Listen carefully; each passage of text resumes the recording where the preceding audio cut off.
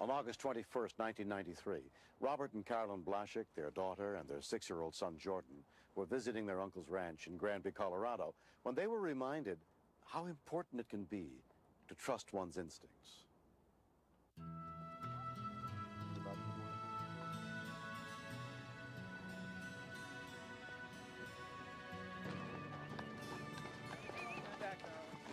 My Uncle Jimmy was very confident in the horses. They were his horses and knew that they could handle going down the mountain.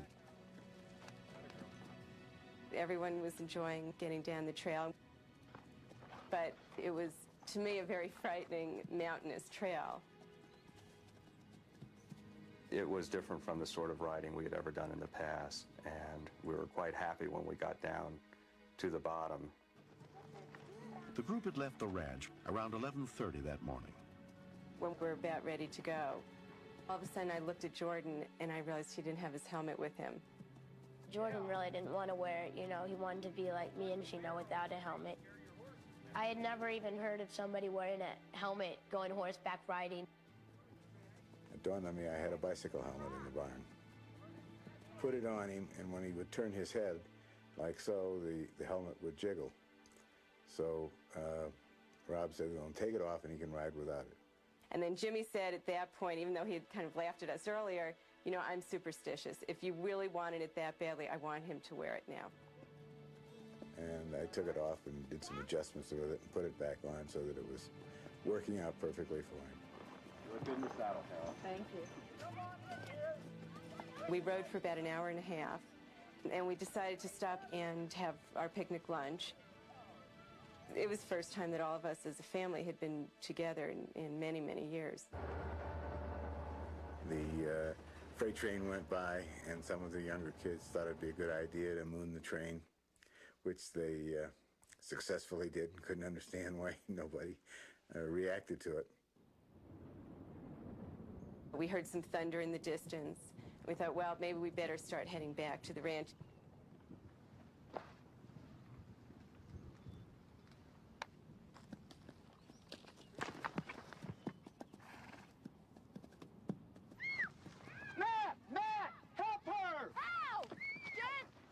All of a sudden, Jenna's horse spooked. Cut her off before she gets up that hill. Whoa. I was watching that happening, and sort of in shock. And then behind me, I heard Rob, my husband, yelling, Jordan, let go of the reins. Jordan, don't pull on the reins! Let go of the reins! Drop the reins, Jordan! Drop the reins, boy!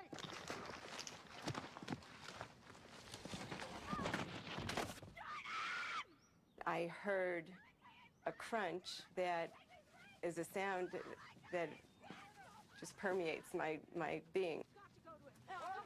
And I just saw this little lifeless body there, and I knew he could not be possibly alive. All we heard was a very loud crunching sound. Hearing that sound was the most awful thing I've ever heard in my life. Jordan, Jordan, go to work. Jordan. I saw just a flicker of life on his face, and I realized he was alive. But I really believed he was paralyzed and probably would be the rest of his life. And I just kept thinking, well, I'm going to take care of him uh, you know, his whole life. When we continue. Where's he going? I thought. This is it. We're now we're stuck here. Now nobody's going to be able to help us if that helicopter can't land. Right. It will take 18 hours of intensive surgery to remove a 200-pound tumor from Lori's body. Witness her struggle on Super Surgery tonight on Discovery Health Channel. Next on Discovery Health Channel. 911. It's the call that saves lives. True stories that one day could help you in an emergency. Rescue 911, coming up next, only on Discovery Health Channel.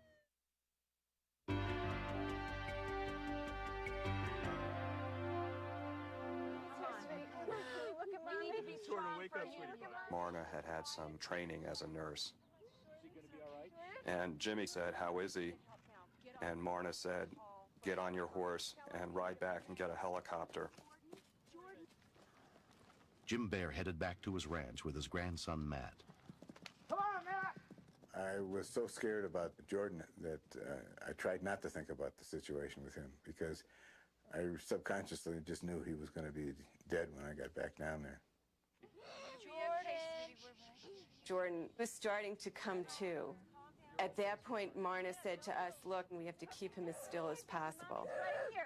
Mommy's right here, baby. We're right here with you. And then he just got more and more and more hysterical, and it was so frustrating to me because I knew that if I could just pick him up and hold him in my arms, I could calm him down. But I knew I couldn't do that. Mommy's right here, sweetie. Mommy's right here. I don't know how we did it, but we got up the mountain in like 17 minutes, and it's like a two-hour ride. Matt, take the reins, walk these horses. 911, what is your emergency? I have a horse accident. I have a rider who may have a concussion, a bro- cracked skull, or a broken neck or back. I'm going to need a helicopter. Okay, where where are they? Fraser Valley. The rider is in a clear pasture. What's hurting? What's hurting? He's gonna hurt. We could see that there was a piece of the helmet that was digging into his head. I'm gonna take it off. Don't move, okay, honey? Can't move. Okay, I'm gonna I'm gonna hold his head and immobilize his neck. You slip it off gently, slowly. Sl- Don't, move. Don't, Don't move, Jordan. baby. Don't Okay, move. sweetie. Please, don't Okay. move. When we took it off, we were kind of in shock because it seemed like hundreds of pieces of helmet. Don't move. Don't move. Try not to move, sweetie. You've got to stay still. Jordan. There came a point when I felt almost like I couldn't be there. It was it was so difficult. And at a point where he was calm and quiet, I had to walk away and try and get a control back over my emotions. I felt like I was walking through my worst nightmare. Oh, God. By the time Grand County Sheriff's Deputy Ron Rathbun got to the scene, an hour had passed. Sleeping. We let him fall asleep. I don't know if that was right. Go ahead and wake him up. I wanted them to wake him up because I wanted to be able to talk to him to see what the extent of his injuries were, where he was hurting. Jordan, Jordan, sweetie. Jordan. Talking with the parents, I could see this this look on their face. I, I know they were terrified. The sheriff's here. I did have them put down their slickers. It's gonna be okay, sweetie. The quicker the helicopter saw us, they located us, the quicker they could sit down and get him out of there. The sheriff's here. He's, gonna help us, sweetie. I was very, very concerned. I thought that he might in fact die. The. There was a very faint whirring of, of a helicopter that we could hear. And I just was so grateful. I was just so thankful. I thought, oh my God, they're coming, they're coming.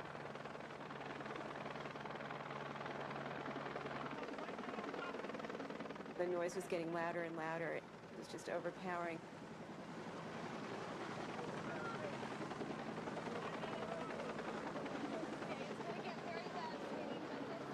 And all of a sudden, I heard it take off.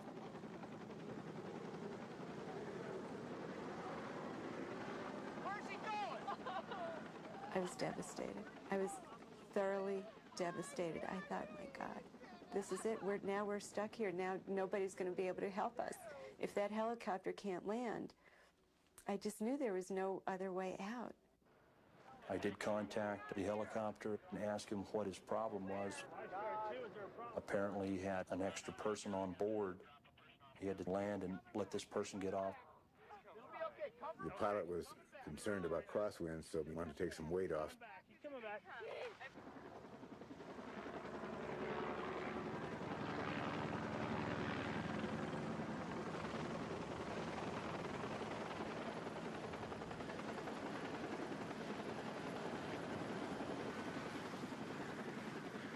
Flight for Life helicopter arrived from Denver about an hour and a half after the accident.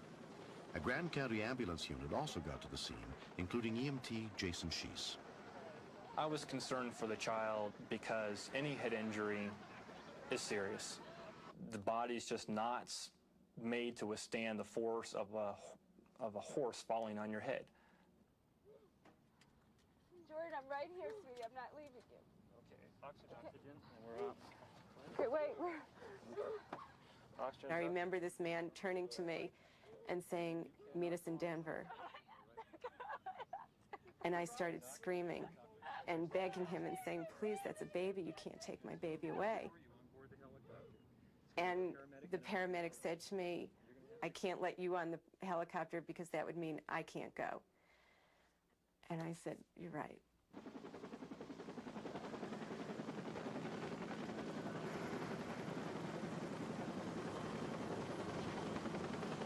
When I watched that helicopter go up, I really didn't think I'd ever see him again. Six-year-old Jordan Blaszek was flown to Providence St. Anthony Hospital Central in Denver. It took Carolyn and Robert Blaszek three hours to get to their son's hospital. And he looked up and just looked at me and said, Mom, what took you so long?